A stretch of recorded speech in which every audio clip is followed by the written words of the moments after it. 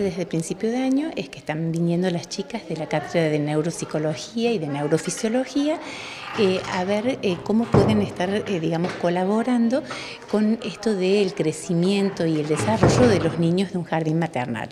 En realidad ellas empiezan observando, trabajando y em, surge la necesidad por ahí de estar trabajando con mamás que en el momento mismo que dejan a los niños en el jardín maternal se han decidido terminar su secundario. Entonces, bueno, la propuesta era trabajar con estas mamás, que poder considerar qué cosas favorecen al neurodesarrollo, qué no, para este, un poco educar en esto del crecimiento de sus propios hijos.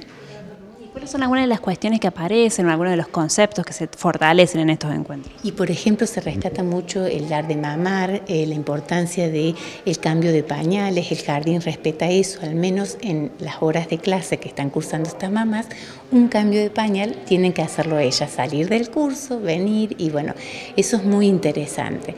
Eh, y está muy bueno que estos eh, hábitos, digamos, y estas acciones se mantengan porque son niños muy pequeños y que bueno, lo bueno es que hay educación en el medio y pueden estar, digamos, trabajando desde los dos lados, mamás, hijos, seños.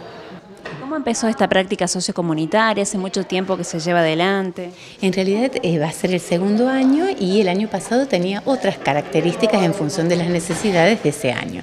Y este año surge esto de trabajar con el jardín, trabajar con las mamás que hacen el secundario y bueno, eh, así es como surge acuerdo a los encuentros que ya se han desarrollado, ¿cuáles son algunas de las devoluciones? ¿Cómo es la participación de las mamás? Y bueno, ellas comenzaron participando con una encuesta donde ellas manifestaban sus opiniones acerca de qué era lo que era ser, por ejemplo, una buena mamá, eh, cómo se veía esto, eh, qué cosas podían estar este, mostrando que desde el jardín se permitían hacer y desde la escuela misma también.